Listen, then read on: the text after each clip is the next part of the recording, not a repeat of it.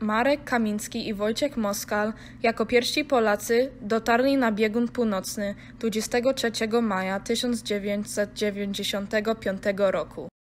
Dotarliśmy, bo bardzo tego chcieliśmy. Pomyśleliśmy, że możemy to zrobić, że przecież nie ma rzeczy niemożliwych. Wypłyć na głębie.